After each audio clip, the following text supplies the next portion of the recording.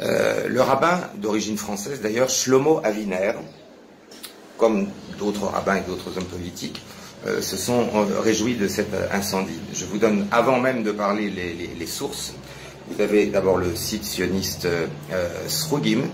L'interview est en hébreu, mais vous allez sur timesofisrael.com, hein, c'est pas un site antisioniste, timesofisrael.com, et vous allez trouver les sources. Voilà ce que dit ce rabbin.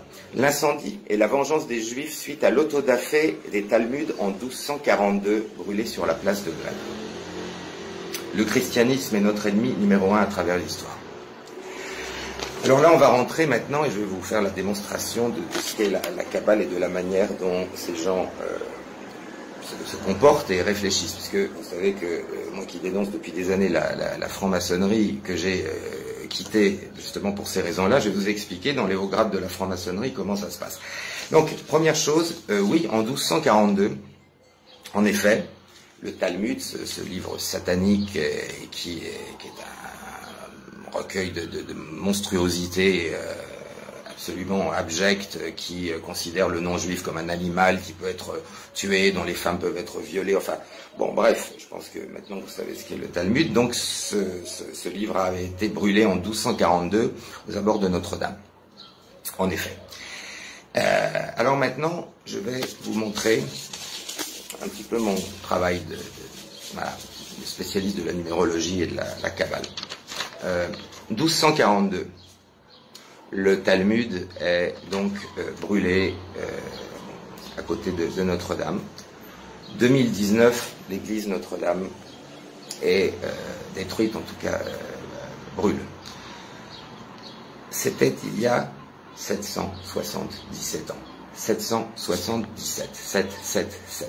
Alors là, je vais maintenant vous expliquer ce que symbolise 777 pour les kabbalistes juifs. Parce que euh, 777, sur le plan du symbolisme, représente euh, un certain nombre de choses, euh, ésotériquement, ou euh, pour les chrétiens ou autres. Mais pour, le, pour les, les juifs, je vais vous expliquer en fait pourquoi le rabbin euh, Shlomo Aviner a euh, parlé ainsi.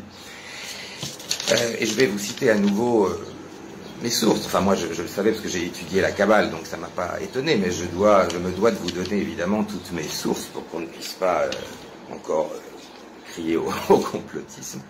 Donc, vous allez dans la revue Regard, numéro 777. C'est le Centre communautaire laïque juif. Vous allez sur Google, vous tapez Regard au pluriel, numéro 777, Centre communautaire laïque juif. Voilà ce qui est dit sur la symbolique du 777 pour les juifs, qui n'est pas la même que pour euh, les chrétiens ou, ou dans l'ésotérisme traditionnel. Cette triple consécration du chiffre 7 intervient alors que les juifs célèbrent Shavuot, fête des semaines.